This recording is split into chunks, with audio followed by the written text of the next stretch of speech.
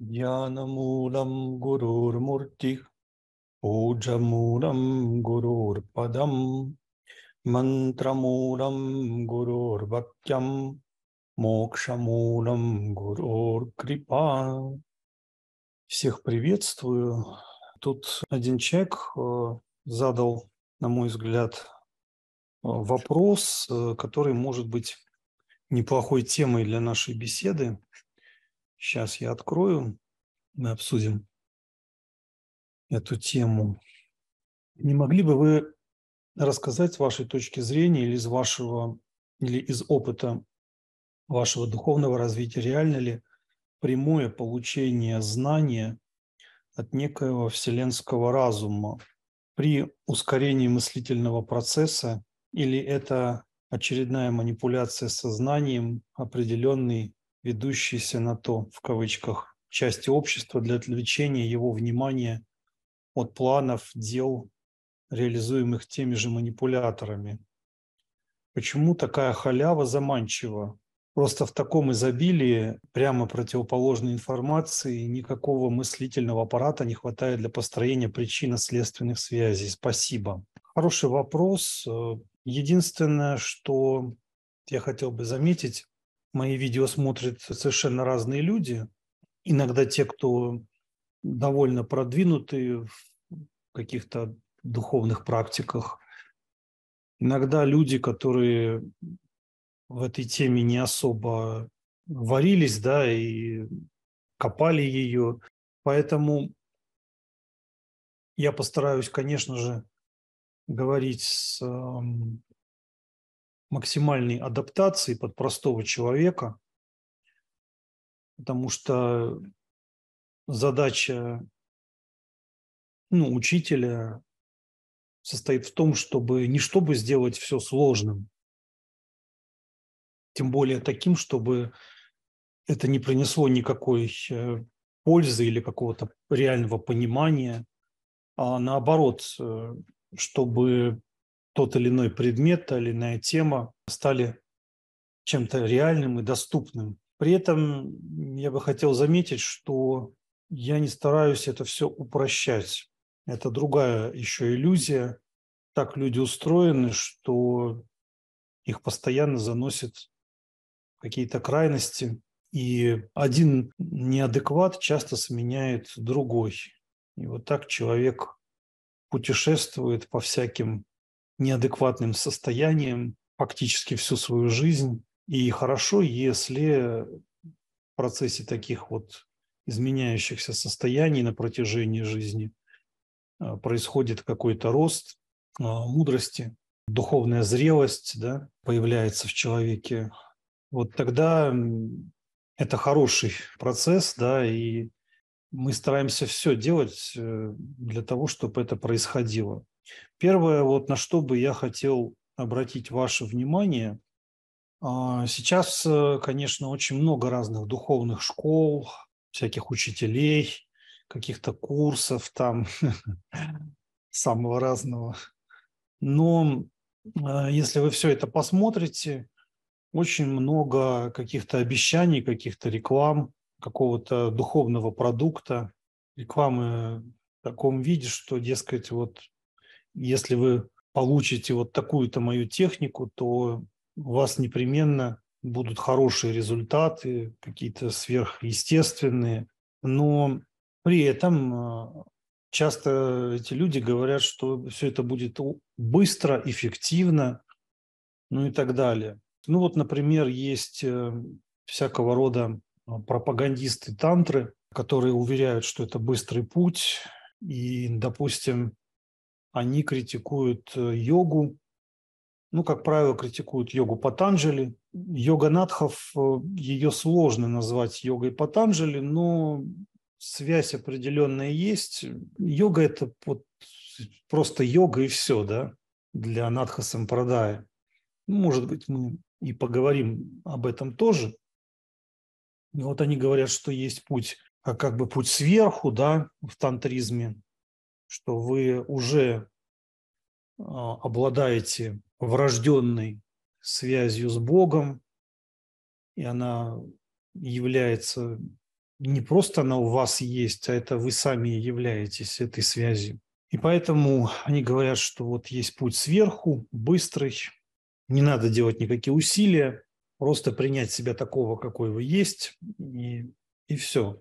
Такой быстрый радикальный путь разовьет все ваши врожденные способности, таланты, то, что называется самореализацией.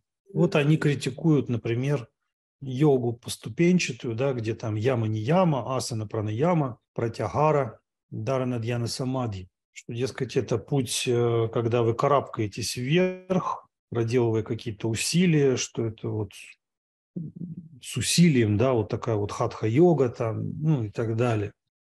При всем том, что, например, тантрики, они тоже не отрицают существование разного уровня методов, то есть есть методы там, которые достаточно ограниченные, связанные с телом, с э, дыханием, например. Ну, может быть, какие-то относительно несложные визуализационные техники. И, э, как видите, у них все равно есть тоже свои ступени. Но они говорят, что это все упаи, все это какие-то типа вот машина вышла из строя, я там что-то гаечки подкрутил и чуть-чуть, да, там, и все заработало обратно. Потому что изначально механизм правильно сделанный, в нас все правильно создано от Бога. Здесь сложно поспорить, все это, конечно, так. Но вот эти мелкие подкручивания, да, там какие-то хитрости, уловки или методы, да, то как переводят эти упаи, что они не являются путем постепенного карабкания к вершине, да, но понимаете, в чем все дело? А, все это, конечно, очень красиво, да, и, и где-то и правильно, все, что они говорят, но вот по моим наблюдениям и то, что по тем оценкам, которые, ну, давали многие из моих учителей – не все так просто, как кажется.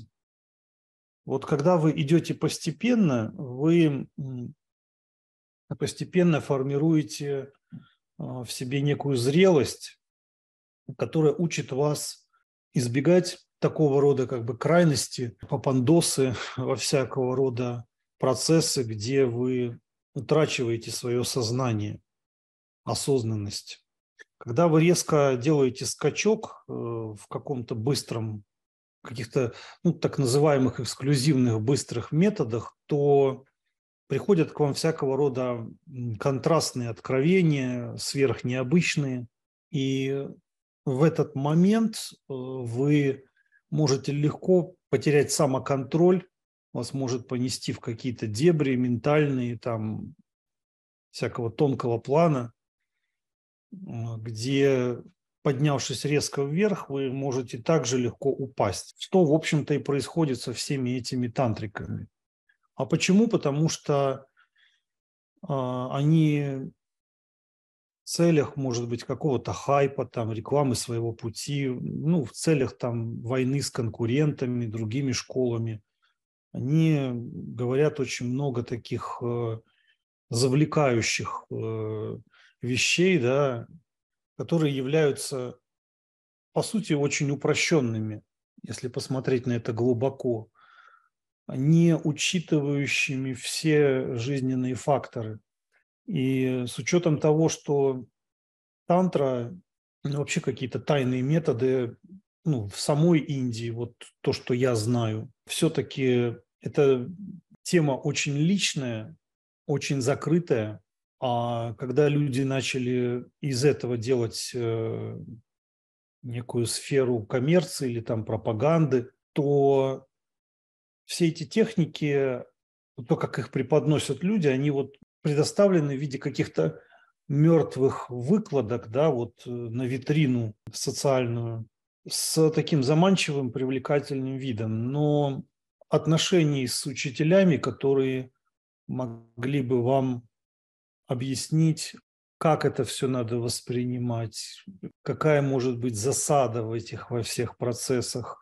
Вот это все, как правило, отсутствует. Но даже если где-то и есть то не факт, а, что сами такого рода учителя, так называемые, полноценно все это прорабатывали. Они также получили какие-то духовные продукты или там интеллектуальные в виде каких-то там якобы передач. Да, пусть даже и в Индии, кстати.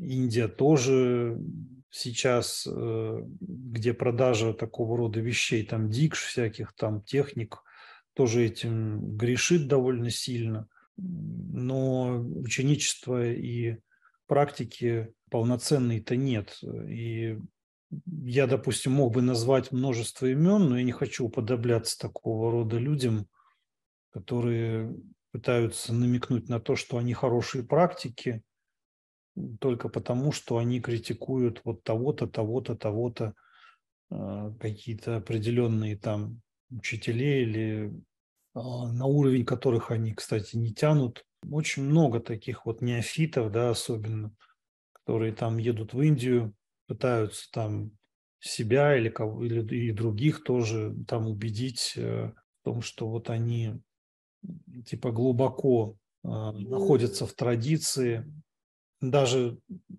выучил до какой-то степени, допустим, там хинди или там совершенствуя санскрит, не факт, что этого будет достаточно, чтобы вас кто-то учил.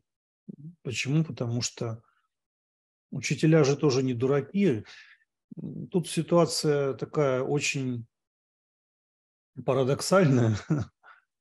То, что такого рода люди, которые туда приезжают, они надеются получить что-то очень ценное, при этом желательно, чтобы эти учителя, где, у которых они это получают, были высокого уровня, но в то же время вот они считают, что высокого уровня, но удастся этих учителей обмануть. Понимаете, здесь вот есть определенный диссонанс. Вы хотите учителей высокого уровня и в то же время пытаетесь их обмануть. Но если вы их обманываете, значит, они уже не высокого уровня. А это противоречие именно в самом ученике. Ну, якобы ученики. Таким образом, это не ученики все, это все какая-то дурь, да, какие-то дурацкие игры. И даже если вы такого учителя и встретите, да, ситуация может быть совершенно э, безумной, потому что вроде как вот вы рядом побыли там, пообщались и числитесь в учениках, да, а способность у него учиться не проявили. Это может быть человек большого знания, но э, ваше эго, я такое очень много видел. Было очень много учителей, когда действительно, ну вот там кто-то приезжает, и он начинает задавать вопросы, вот как бы переводя все в такой формат, который выгоден только ему. И при этом, когда он думает о своей выгоде, он не намерен слушать. То есть он намерен проявлять э, свой как бы шум внутренний, свою агамкару вовне а, в отношении учителя. То есть а, вместо того, чтобы в состоянии трезвости и покоя уметь воспринимать. Этим себя мало кто озадачивает, из так называемых э, там всяких адептов посвященных. И поэтому мы видим такое количество разных людей, да, которые поехали в Индию, и вроде где-то там они, сказать, посвятились, приобщились, вроде как, но э, ничего не произошло, по сути. Ну или то, что произошло, оно очень мелкое, а повод э, впасть в гордыню, переоценивая это, только увеличивается. И получается, люди впадают в омрачение, что они какие-то знатоки, да, что они вот и, и то, и все повидали. Такого вот очень много. Но зачастую все намного проще, да, то есть люди просто едут там как-то что-то сфотографируют, да, и дальше просто самостоятельно начинают там изучать языки, там копать какие-то тексты а, и уже, так сказать, по этим текстам составлять какие-то себе практики самостоятельно. Кто-то там, там санскрит учит, например, да, и уже пытается самостоятельно понять, что там содержится в этих текстах, по сути-то, даже если человек грамотный, да, и вроде как э, может все верно перевести, но бывает так, что сами трактовки, они очень однобокие, очень э, зафиксированные. Это то, чего я не видел у индийских учителей. То есть они как раз-таки очень живенько со всем этим обращаются. И вот на, на, на вот всем этом пути, да, таких вот радикальных э, эффективных методов, очень много такого рода вот засад, да, которые человек просто не отслеживает. Идя постепенным путем, вот той, так, той йоги, которую вот э, все эти крутыши критикуют, да, я считаю, что больше есть э, возможности иметь страховку а, на духовном пути, то есть больше есть возможности аккуратно проходить э, процессы ученичества, процессы практики, меньше какой-то шаткости, меньше каких-то заскоков, какие-то состояния. Я имею в виду там не просто лунатические, а всякие всякого рода ментальные дебри. А, поэтому а, стабильность практики крайне важна.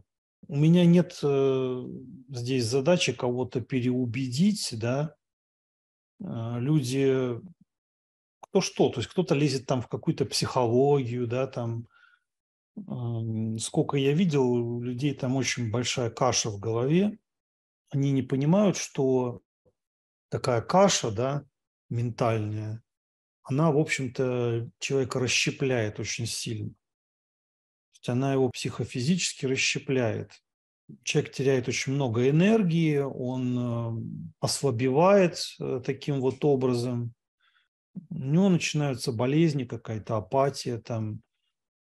Я не то, что там хочу сказать, что какие-то исследования в области там психотерапии, чего-то такого, что они абсолютно бессмысленны, да, но нужно прекрасно понимать, что ты пытаешься а, смешать, то есть одно с другим. Вот если есть какое-то лекарство, да, и доктор вам прописал его использовать с определенным рецептом, но вы взяли и самостоятельно смешали с другим лекарством, без учета работы одного и другого. И эффект может быть э, ну, совершенно непредсказуем. Да, это вот просто что я хотел вам сказать по поводу пути, да, как я это оцениваю. В первую очередь все-таки необходима школа, необходима школа с древней традицией, которая проверена, и при всех ее, допустим, каких-то, ну, скажем так, а, отходов а, от, а, от исконно традиционного в области какие-то слабость не связанными, при всех каких-то отклонениях, традиция все равно, это парампора, да, которую которая передавалась э, через э, людей, которые этому посвятили всю свою жизнь. И здесь не будет какой-то переоценкой вот, э, заявить о важности традиции. Поэтому традиционность очень важна. И, к сожалению, очень много существует разных сил, которые пытаются людей увести от этого, пытаются опозорить, дискредитировать традиционность под вывеской какой-то идей свободы, да, но это такая свобода очень фальшивая. Те пропагандисты свободы, которые вот э, мы видели последние годы, даже не последние три года, а вот еще и раньше, по факту оказалось, что это на самом-то деле диктатура просто она настолько коварная и гибкая, что диктаторы, кого действительно принято так называть, да, уже выглядят на их фоне каким-то детским садом. Я надеюсь, вы понимаете, о чем я говорю. Ну, особенно ярко мы это видели последние три года. И продолжаем видеть, и ну, в то же время мы видели и, и видим сопротивление это хорошо, потому что как бы там ни сложилась дальше в целом ситуация, это уже стало частью истории, и эту историю уже никуда не денешь. То есть э, ее как минимум многие будут вспоминать, и она будет поводом для возвращения к тому, что мы считали человеческим, тому, что мы считали божественным, врожденным. Так вот, возможно ли получение знания напрямую? Возможно, конечно. Собственно, традиционная йога, традиционные какие-то восточные методы, они на это, собственно, и направлены. Если вы вспомните, ну, кто может вспомнить, а те, кто не могут, пусть ознакомятся. Ну, например, Упанишады, тантры, многие какие-то источники, йоговские тексты. Тот факт, что они очень часто декларировали вездесущесть Бога, ну или вездесущесть эм, какой-то реальности, да, которая является высшим знанием, сверхсознанием. Например, вот есть такое понятие, как э, Бог, как прокаша. Если мы посмотрим любые имена тех же индийских богов, опять же, я не советую это соотносить с тем, как это определяет там христианская доктрина, особенно агрессивные какие-то пропагандисты, да, которые вообще, которым не свойственно во что-то вникать которые просто думают о политике, о войне с другими религиями, а каких-то глубоких людей в других традициях, э, которые бы полноценно вас воспринимали, их э, единицы, хотя мне встречались, но очень мало. Ну вот если вы посмотрите просто сами названия, ну, например, Вишну, что означает этот термин? Корень виш означает проникать, распространяться. То есть он настолько тонок, настолько за пределами всех форм, что он пронизывает все формы и находится внутри всех форм. Потому его еще и называют парама-атма, да, параматма, высшая душа. Это душа, которая находится в каждом объекте. И ее измерить очень сложно физическими методами. То есть если душа есть в каждом живом существе, ну то давайте попытаемся включить абстрактное мышление, например, э, там сравнить муравья да, и слона. То есть какого размера будет душа у того и у другого.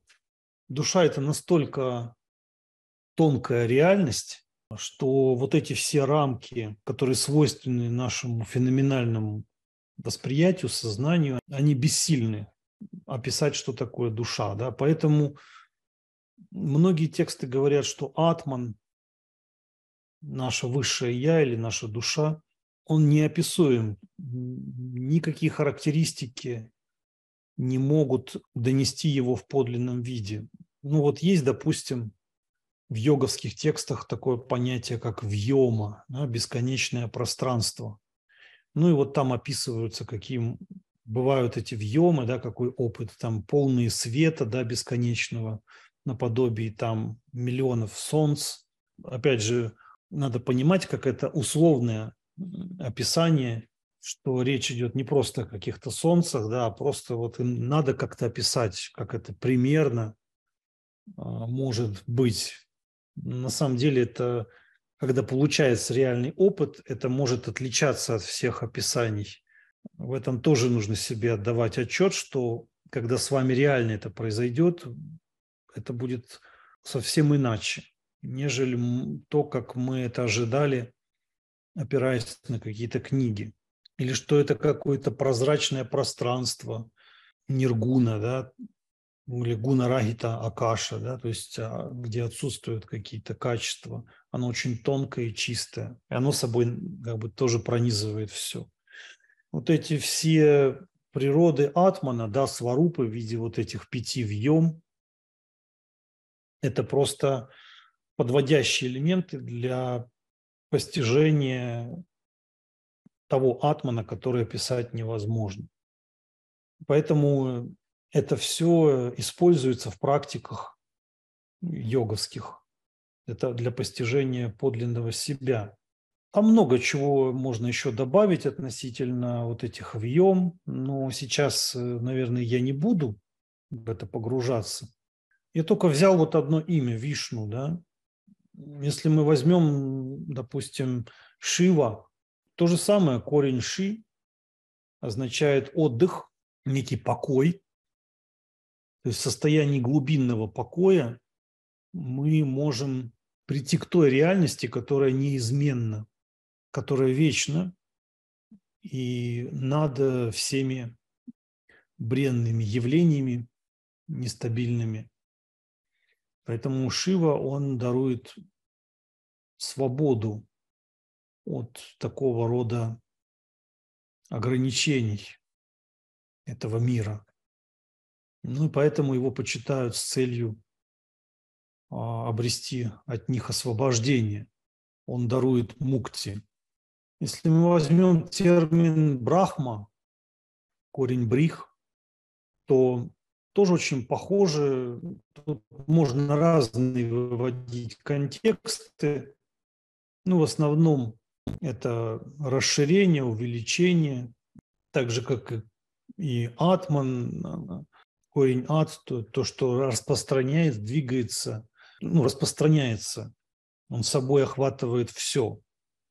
То же самое Брахма, то есть он, он с одной стороны распространяет свою энергию, да, и творит. Но если там, допустим, не Брахма, ну, есть разные произношения, есть Брахма, есть Брамма с долгой А на конце, да, это как творец. То есть есть так называемых шикшах, это специальные разделы, а, где объясняется фонетика. То есть бывают там такие правила, где происходит такая вот перестановка фонетическая. Ма и ха. Ну и ряд других тоже. Поэтому иногда произносят как Брамма. Есть еще Брахман или Брамман. Можно без э, вот этого окончания ан, да, просто именительный падеж, а просто Брамма. Тогда у нас будет э, без долгой А, будет короткая А, да, то есть это будет как вездесущий дух, да, очень похоже как э, по смыслу или сущностно по значению с такими терминами, как Шива или Вишну.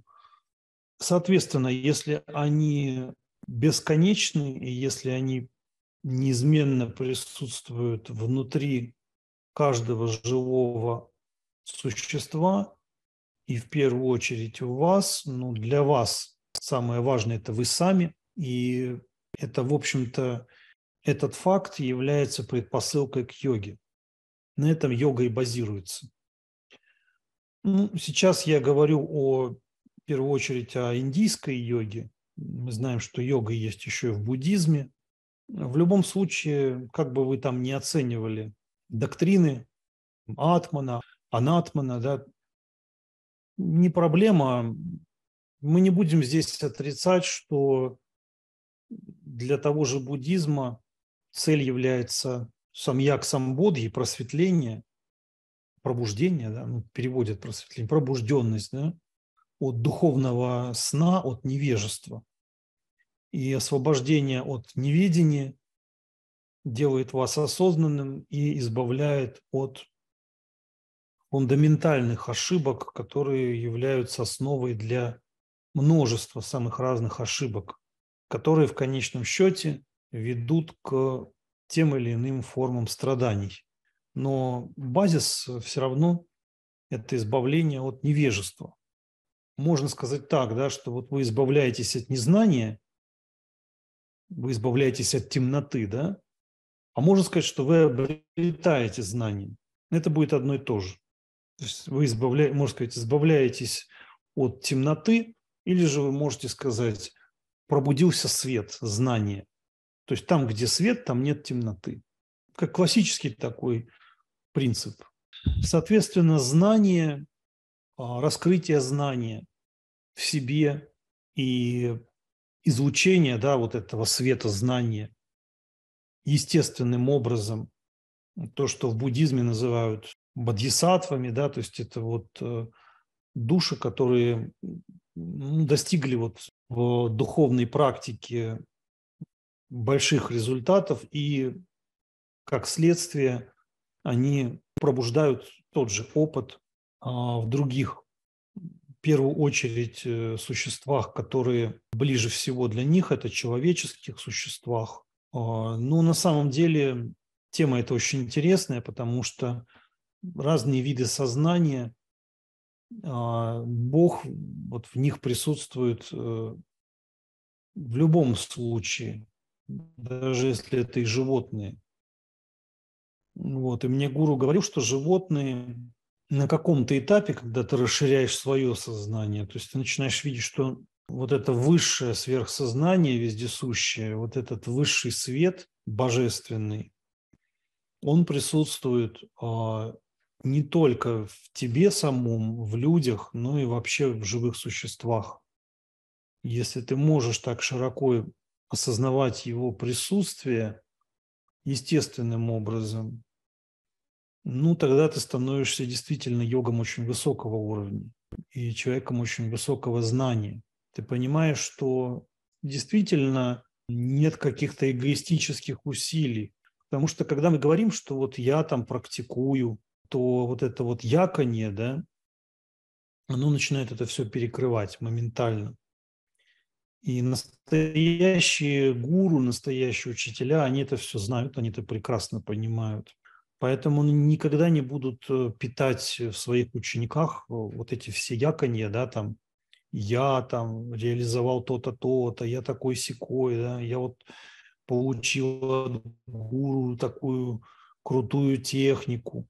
Это все э, очень часто бывает маркетингом, вся вот эта крутизна. Как правило, все великое происходит в состоянии глубочайшей простоты и состоянии глубокого естества внутреннего. Глядя вот на своего гуруджи, я могу сказать, что это именно так. Для меня он является олицетворением этого примера. Ну, и многие учителя, у которых мне довелось учиться, из них э, всегда исходило нечто единое, нечто такое, сказать, очень чистое, живое, и такое спонтанное, какая-то вот божественная энергия. Вот дивья, да, корень див означает как свет, да, или играть. Див, -то, от, от этого корня происходит э, дева, да, девата, божества, божественность некая. И, конечно, все учителя разные, по-разному представлены в этом мире, но важно схватывать не... Важно схватывать все, да, то есть через их экспрессию, через их а, попытку, даже не попытку, это, скорее это для нас попытка, с их стороны проявить божественность, наше восприятие божественное, и мы воспринимаем их, и тем самым мы воспринимаем одновременно и себя, потому что это есть и в нас, и в них.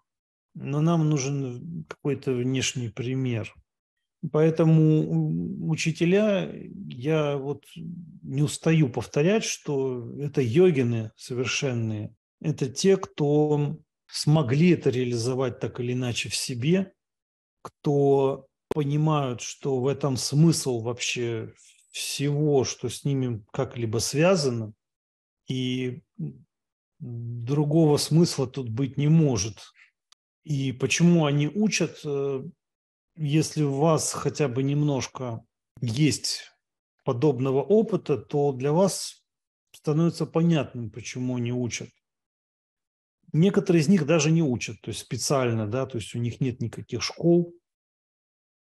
Я встречал таких э, подвижников, э, очень спокойных, глубоких, которые даже просто состоянием своего молчания могут вычистить своего ученика, если он будет достаточно дисциплинирован, аккуратен, внимателен, с огромным респектом, относясь к своему гуру, тогда это становится возможным, и для этого не требуется каких-то вычурных действий, демонстративных. Достаточно иметь глубокий самоконтроль. Отсутствие самоконтроля – это, в общем-то, главная проблема для многих людей. Это то, что отделяет практикующих йогу от непрактикующих. Йога – это контроль, это дисциплина. Но не просто потому, что кто-то сказал, потому что есть очень много ну, таких любителей контролировать других, да, но при этом они пользуются невежеством других людей. Но настоящий гуру э, дает э, как бы ваше личное понимание о необходимости самоконтроля. И учит он этому потому, что он видит это, э, в этом ценности для себя самого. Он сам является йогом и сам является практиком, и этому он и учит других. Вот, в общем-то, в чем здесь смысл. Дальше, ну, мы когда говорим о получении каких-то знаний, то что здесь имеется в виду? Постарайтесь это а, понять, вот сам подход, сам принцип, как происходит этот процесс. С одной стороны, это крайне просто. Это, ну, проще нет ничего. Вот именно поэтому это является и сложным. А, сейчас мы живем а, в такое время, когда просто очень много мусора информационного, шума, очень много с появлением интернета появилось раздражающих факторов самых разных форм пропаганды, самых разных форм попыток запихнуть в вас что-то такое, а, что сбивает с толку. И этого, это целый океан сейчас этого всего. Причем много всяких фейков, много симулякров, много всего такого, что делает вас шатким, ваш путь шатким, то, что устраняет у вас какое-либо понимание. Сейчас мы вот видим, что, в принципе, задача всех этих процессов, таких вот глобальных, я их считаю антидуховными, это создать массово такое общество отупевших существ, с которыми можно дальше делать все, что угодно. И это как раз-таки то, что против йоговского пути. Поэтому я должен об этом говорить. Я об этом говорю, потому что я выбрал путь йоги, и идти на компромиссы с тем, что ему не соответствует, а, не является для меня важным, не является для меня ценным. И более того, если уйти в этом достаточно глубоко, уйти э, в мир симулякров, то это является даже деструктивным, опасным, вплоть до лишения человека жизни. И это не пустые слова, это то, что сейчас происходит. По разным причинам, но причина, как я уже сказал, невежество. Причина, она одна. Главная причина. Поэтому, когда говорю я о простоте, то, опять же, мы можем вернуться к понятию вьемы, да, понятию пустого, чистого пространства своей души, которое открыто, которое бесконечно. Мы не можем измерить атман. Он маленький на уровне атома или он бесконечный на уровне всего мироздания. Но это показывает его возможности Например, есть, э, ну, скажем так, множество вселенных, есть гал, множество галактик, да, Млечный Путь. Если вы посмотрите на небо, там просто бесконечность. Есть вот одна наша галактика, а в ней есть солнышко. Вращаются там какие-то планеты, да, там по разным системам интерпретации можно разное их насчитать количество, да, плюс э, какие-то более мелкие, да, второстепенные. И одна из таких планет – это наша Земля. А на нашей Земле есть множество всего, множество людей, и одним из таких людей являетесь вы. А вы состоите дальше, если еще сужать, из различных органов, органы из клеток, клетки еще там состоят из э, много всего, да, там молекулы, атомы и еще какие-то микрочастицы. И все это то, из чего состоите вы. если вы думаете, что вот вы, даже просто такой человек, что-то делаете, что вы независимы, то это огромное заблуждение. Мы не принадлежим просто себе. Это не к тому, что мы не должны заботиться о том, что мы делаем в этом мире. Как раз-таки это важно. Но у людей есть такое представление, что вот э, сейчас кто-то вам даст какой-то рецепт совершенства духовного, да, какую-то технику, какую-то хитрую штучку, да, которая приведет вас к непременному успеху, каким-то сверхдостижениям. Но это все, конечно, детский сад, на мой взгляд. Да не только на мой, так э, тексты говорят. понимаем, что зависит, э, вот, вот все, что я там упомянул, перечислил, все вот эти факторы, включая массу других, это все то, от чего мы зависим. Нет нас вот изолированных, мы связаны друг с другом. Мир очень многообразен. Мы должны это понимать. И тогда все наши какие-то вот эти якония, что я там сейчас достигну, потому что мне передали особую технику, какой-то особый гуру мне что-то передал. Все это, конечно, детский сад в духовном смысле.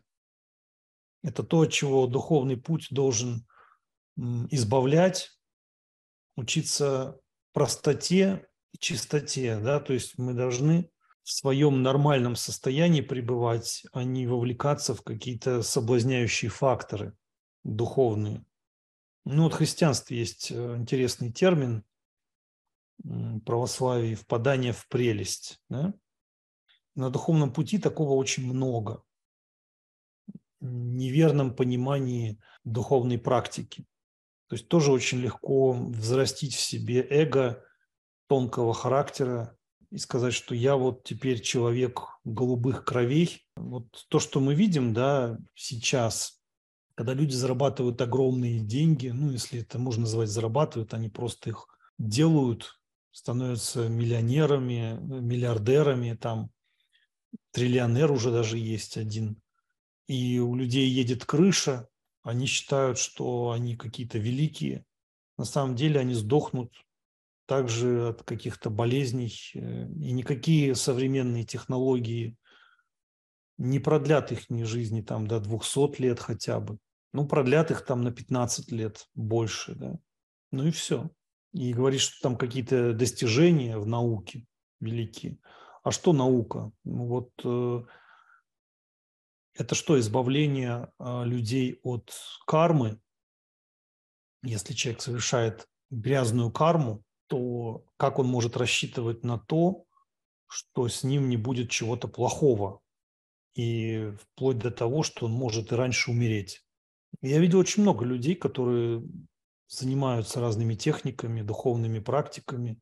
Они почему-то вот уверены, что просто сами техники все решат, а без включения их понимания, без эм, совершенствования мировоззрения, понимания устройства мироздания.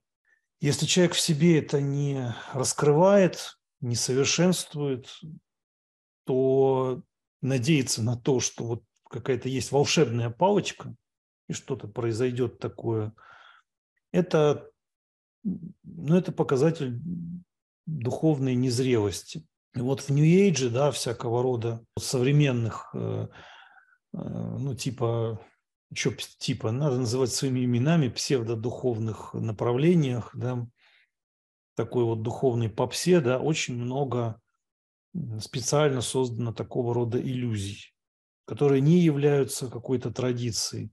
Ну и, к сожалению, сейчас и традиции во многом берется вот вывеска там традиций, да, и все равно под, э, под такой вывеской, ну, сущностно продвигается New Age. То есть люди что-то взяли из традиции, и все, то есть они украли из нее, да, а жить э, ее принципами, сущностными принципами, я не имею в виду там напялить на себя что-то, да, и заниматься дурацкой клоунадой, а понимание тех или иных принципов. Вот когда я говорю, что там саду не подстригают там или бороду, или усы, да, там, или они там едят пищу только в храме, не в кафе, да, это не означает, что надо вот непременно э, такими быть, да, а надо понять основы, которые лежат в этих принципах.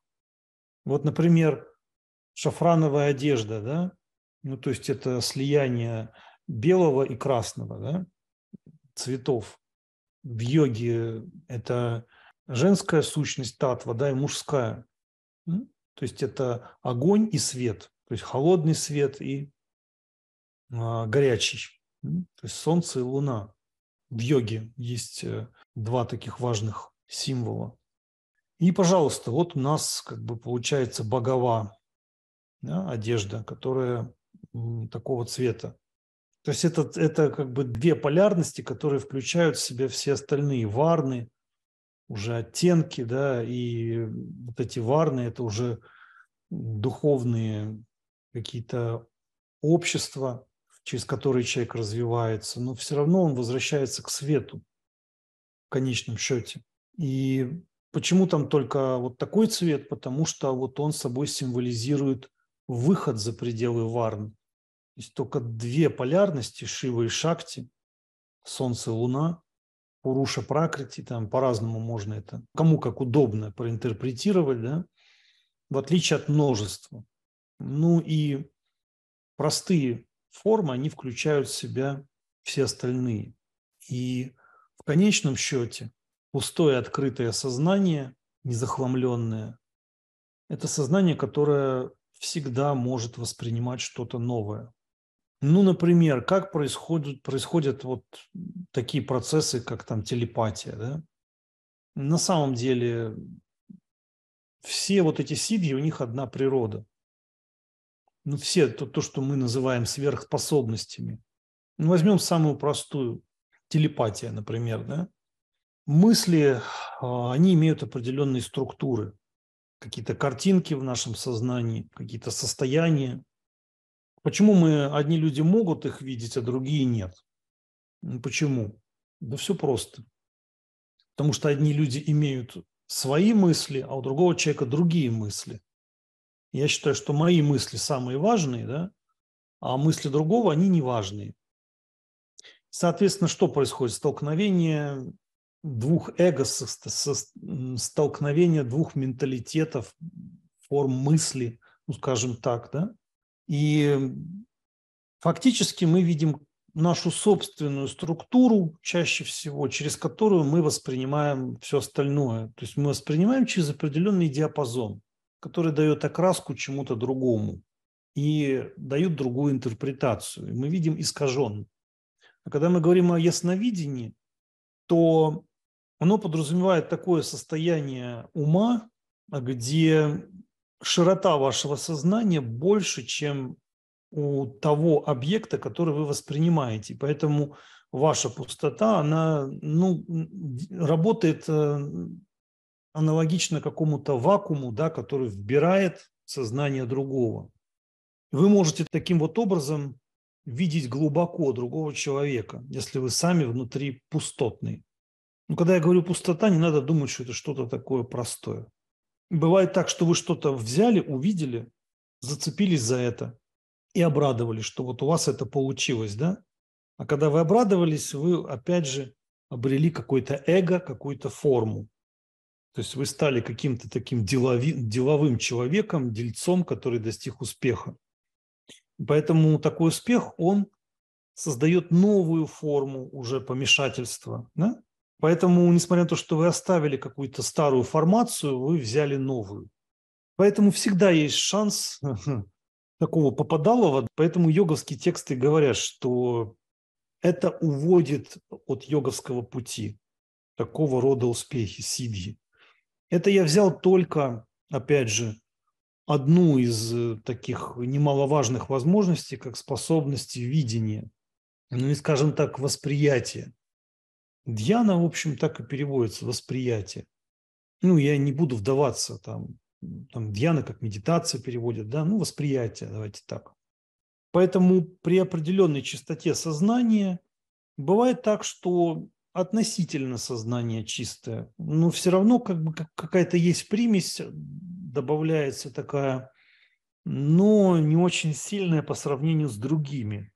Поэтому есть э, разного рода ясновидящие, да, которые что-то видят, а что-то нет, да. То есть вот у них э, разный уровень чистоты, а, разный, разный объем восприятия. На что-то меня хватает, да, воспринять, а на, а на что-то нет. Ну, вот я воспринимаю, а дальше уже мое эго ну, начинает там кряхтеть, да, и уже все, Дальше я понимаю, что моя духовная чистота, все, она вот затормозила на этом моменте и дальше не позволяет. Да? И когда полное происходит очищение себя, это, конечно, все отражается на теле. Тело, оно как прозрачное становится, да? Вы могли много раз там ну, читать, слышать, да, там очищение нади, когда циркуляция праны, то есть когда есть какие-то структуры в вас, блоки, да, они мешают, то есть есть циркуляция энергии, тогда у вас нормальное здоровье. Если у вас есть какой-то блок, да, какой-то характер, который, ну, может быть, э, он другим, другим бывает это нравится, да, что вот у вас есть какой-то характер, но он может вам мешать. Другим нравится почему? Потому что они видят, что вы кто-то, да, что вы какой-то, когда они, э, у людей есть такая тенденция просто лапать э, а, какие-то структуры, да, какие-то формы. А, они хотят ощутить себя обладателями, да, владыками. На этот момент они утрачивают э, самообладание, то есть они теряют контроль свой. То есть они, у них хватка начинает, инстинкт хватания и замыкания себя вместо того, чтобы, наоборот, э, отпустить свою хватку и открыть свое восприятие. Когда восприятие открыто, то есть это то, что называют вот это самбодхи, да, пробуждение бодхана или унмана, да, по-разному, то есть в йоге. Ут мана, мана ум, да, а ут означает вверх и в разные стороны. Ну, то есть восход сознания, да, такой, унмана. Ну или пробуждение кундалини, кто как это называет. Там, сейчас я не буду там перечислять э, все эти синонимы, да. Ну, в общем, э, смысл такой, что раскрытие сознания, в то же время открытие бесконечного пространства и понимание своей связи с этим пространством – и когда вы находитесь в этом открытом, спонтанном, чистом состоянии, да, вы фактически э, осознаете вот как бы связь э, истинного себя с тем бесконечным пространством, которое пронизывает собой все остальные объекты. Ну, такая задачка, которую не каждый может э, реализовать, позволить себе еще без утраты своей осознанности, потому что человека может понести там в какие-то дебри ментальные, да, то есть он может... Э, это вот то, что я и говорил раньше, да, то есть может возникнуть э, такой вот лунатизм, да, такой же полушизофренический. Он может думать, что вот он там какой-то мистик, какой-то практик, да, и и такие, такие встречаются иногда в психиатрических больницах практики, да, там палате номер 6, там практик там одного уровня, в палате номер 7 практик другого, да. Опять же, вот когда я это говорю, да, или йогины, не каждый йогин будет вот это все рассказывать. Если вы поедете в Индию, то не будет ничего говорить, он просто напрямую вам предложит, просто вот он будет в состоянии покоя, расслабиться и воспринять эту чистую энергию. Потому что вот я это рассказываю, кто-то послушает, скажет, о, блин, это же вот э, как бы там вообще кукуха не поехала от э, всех этих реалий, да, там, которые вот он там излагает, да. Но опять же, мы когда говорим о каких-то сверхъестественных состояниях, да, каких-то духовных опытах, почему о них не говорят? Потому что, ну, мирские люди, они не способны вообще об этом что-то помыслить. Но они простые люди, вот дебелые, да, ну, такой вот пень просто, да, а ты ему что-то там объясняешь. Ну, сложно, сложно. У многих не стоит такой задачи. Причем они могут там ходить в церковь, они могут там заниматься асанами, да, там упражнениями какими-то и говорить, что я йог, но я вот адекватный, я вот э, не лезу во всю эту шизотерику там. И...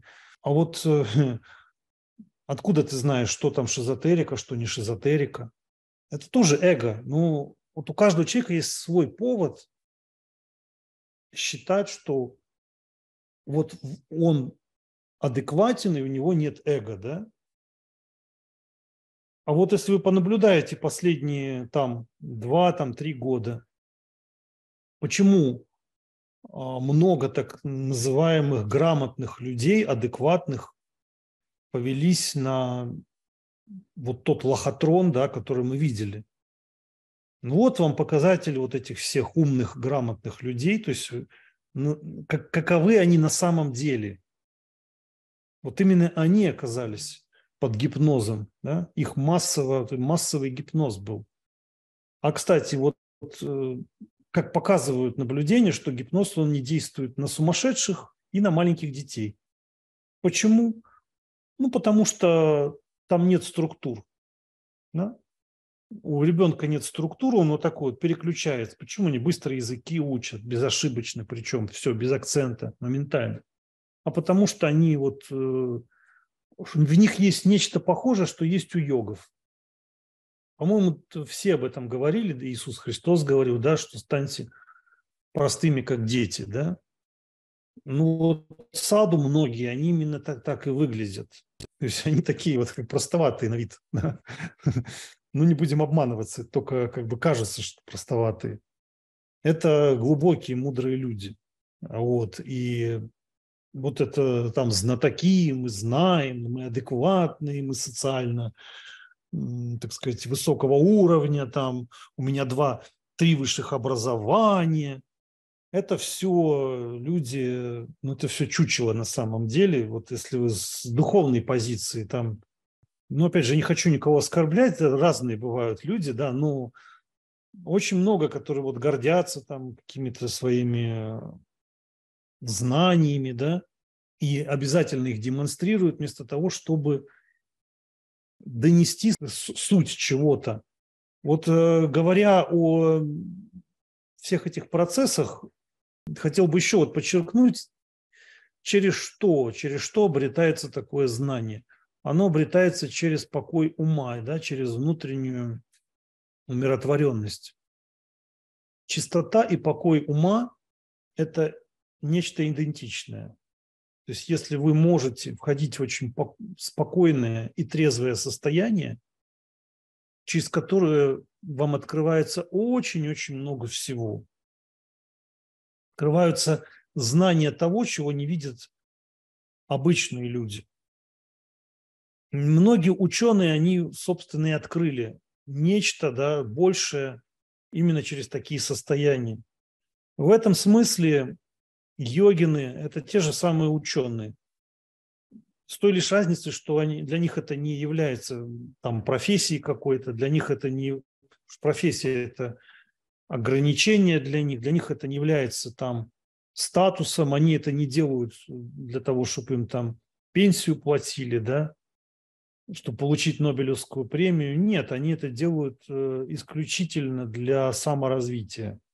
И йогины открывают какие-то законы, которые есть уже, да, но простые люди, они не настолько смелые, чтобы осознанно раскрывать свое сознание до такой степени, что раскрываются лично для тебя какие-то явления, какие-то процессы, которые неведомы простым людям. И вот тогда и происходят вот э, те сидхи, о которых мы там слышим в каких-то йоговских текстах, там говорится о, них, да. Но это очень надличностные состояния. Поэтому очень сложно встретить э, такого рода персонажей, да, которые могут э, вам это все как-то демонстрировать, потому что у них, опять же, тогда они превратятся, если они начнут вам это демонстрировать, то сразу же самого разного рода демонюги в этом социуме заинтересуются, которые хотят это использовать во вред другим людям, всякого рода спецслужбы будут интересоваться. Сейчас, пожалуй, наверное, интересоваться никто не будет может быть, мало кто... Не, есть, есть кто интересуется, конечно, да, но интересы очень узкие. Да? Они, они привыкли все утилизировать, понимаете? Они привыкли все вот использовать для какого-то прикладника, и у вас могут просто отнять это все и перенаправить вас там, не знаю, летать через обруч в цирк, чтобы вы с голоду не померли, получая там какую-то пенсию.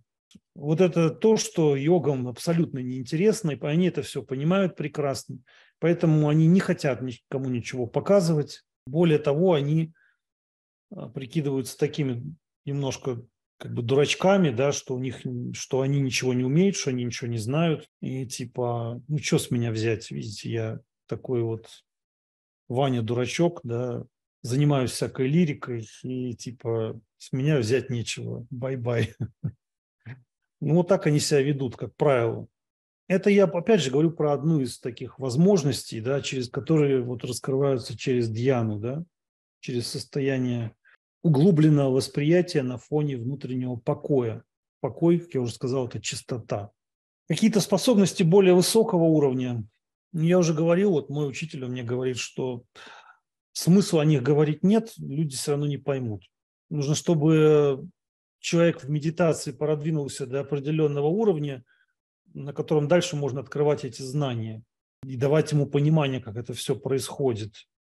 Но в целом я могу, конечно, сказать, вот есть там, как я уже говорю, две полярности, да, есть, есть э, Шива, есть Шакти, его сила. Сила, которая создает проявление – какие-то формы, да, всю, ну, все мироздание фактически, да. И все эти объекты, они существуют во времени, в пространстве. Но так как это шакти, она является его проявлением, то возвращаясь к нему, да, к, к источнику, и если эта шакти, она действует в соответствии с вами, вот тогда вы можете через э, вот такую связь иногда создавать какие-то процессы, да, которые для кого-то могут выглядеть как э, нарушение каких-то пространственно-временных законов. Это я так сказал, да, но это, это, это все равно, наверное, ни о чем не скажет, потому что смысл говорить, что да, вот есть Шива, есть Шакти. Для большинства людей это, они вот просто, может быть, и слышал кто-то, да, там на каком-то академическом уровне, а здесь академизм – это то, что надо будет э, рано или поздно похоронить. Без этого никак. То есть вы хотите быть йогиным, вы поймете, что это может быть препятствием на определенном этапе духовного пути.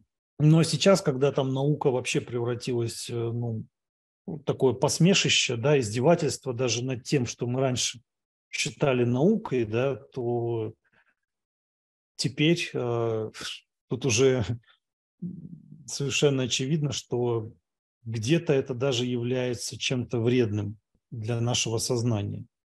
К сожалению, сейчас и наука уничтожается, и любую деградацию можно подать как э, это вот что-то необычное, да, какое-то исследование происходит. Вот, к сожалению, к сожалению.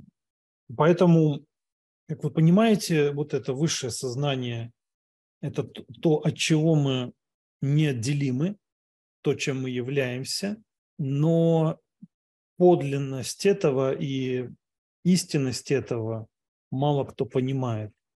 А те, кто понимают, те, в общем-то, и становятся практиками. Но все это происходит очень-очень спокойно. Это не предмет какой-то проповеди. Проповедь, она, возможно, на уровне каких-то подводящих э, к этому элементов. Они, нужна, ну, как это все необходимо. Да, вы увидите в Индии там а, множество учителей, которые рассказывают о Пуранах. Э, в основном, как правило, это Пураны.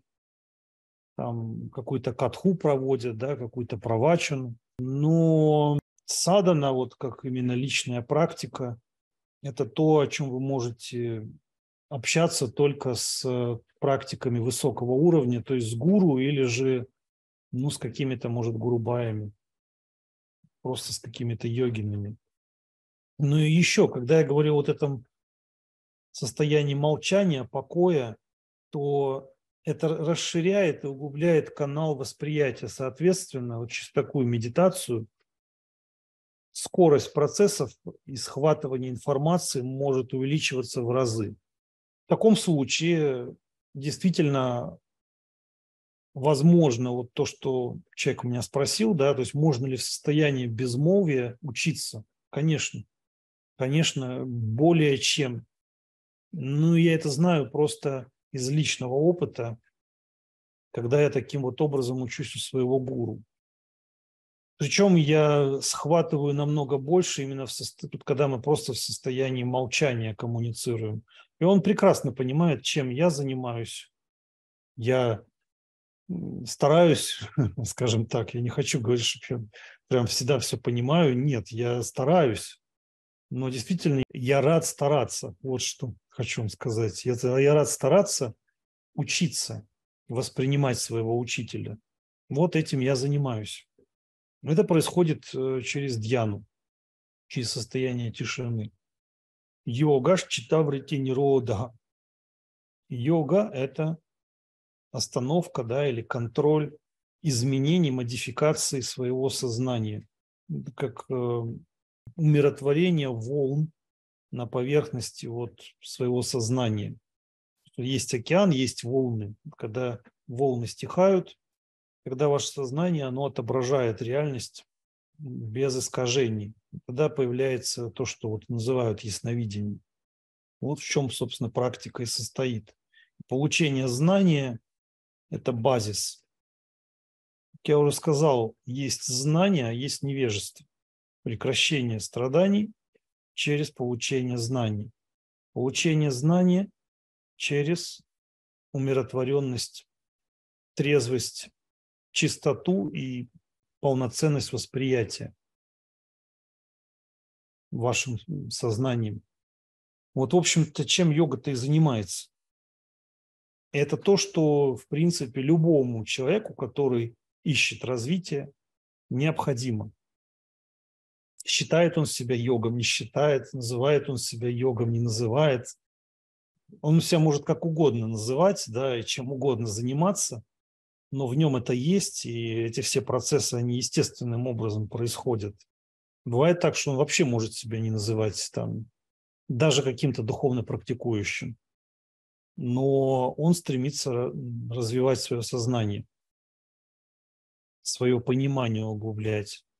И вот через углубление этого понимания он становится мудрецом, скажем так, да, и если в таком глубоком состоянии вы постигаете те или иные реалии, конечно, ускоряется и время, и многие процессы вы просто перешагиваете то, что обычные люди проходят какими-то мелкими шагами, то есть вы там через такой вот как бы покой, да, через такую осознанность вы а, делаете такие шаги, по постижению да, вот большого объема информации.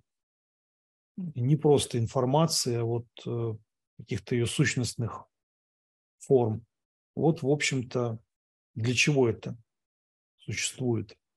Ну, я это так вот в общих чертах обрисовал. Э, я, конечно, понимаю, что многие привыкли к каким-то техникам, да, и, но я этим сейчас заниматься не буду. Может, я этим кого-то огорчу, я не буду давать никаких техник. И без того полно всякого рода школ, да, там типа школ, типа учителей, типа практик каких-то. Насколько они истинны или нет, это уже вы сами будете разбираться. А у меня не стоит задачи набрать себе учеников. Я в первую очередь э, сам являюсь практикующим. Для меня это на первом месте самое главное. Мне тоже нужно личное время, поэтому если кому-то это поможет на его пути, то замечательно. Всем доброго. Шубхамасту.